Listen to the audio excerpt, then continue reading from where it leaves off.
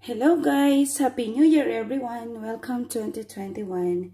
And dahil nga po New Year na, eto po, ire-ready ko po itong ating traditional bilog-bilog. And ang napaka-special po nito is ang ating napakalaking pomegranate or dito po sa Israel is rimon or granada. Dahil nga po New Year, magpapasabog tayo ng napakapulang granada. O, ayan. I-ready na po natin ang ating mga bilog-bilog. Meron po tayong lemon, meron po tayong shiship or shishipim sa Israel. Hindi ko po alam ang English. Nalimutan ko. And then may apple po tayo, meron po tayong clementina or clementinot. And meron po tayong, nagdagdag po ako ng, ano, ng tomato kasi bilog-bilog din naman ating mga tomatoes. And then, eh, special po natin yung aking ginawang salted egg. So, ito, start na po natin. Ilagay ang ating mga pampabuenas swerte. Nasalansa na po natin yung ating apple or apple. So, ilalagay ko naman po yung ating tomato. Kasi wala po tayong grapes. Nalimutan ko po magpabili kay Lolo.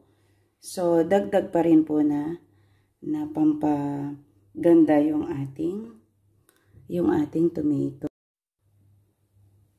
And dahil po yung ating shiship or shishipim is tatlo lang, so, ayan na lang gawin natin siya.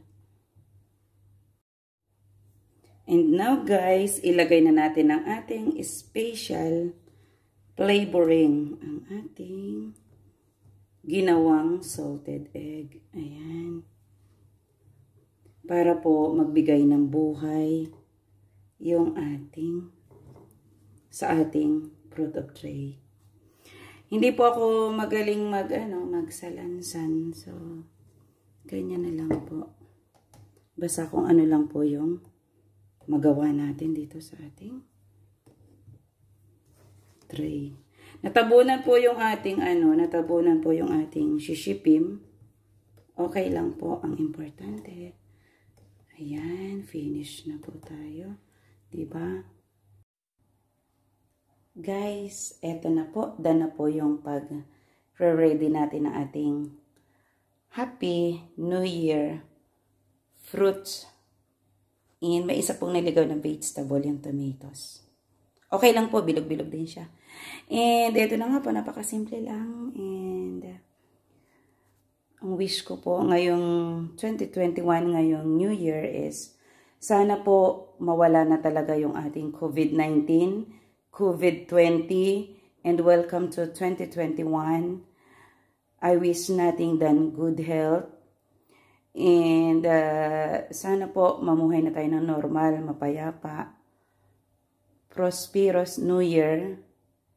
And most of all, most important po is good health because health is wealth.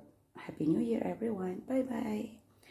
I hope naibigan yung binahagi ko this New Year. Keep safe, everyone. God bless.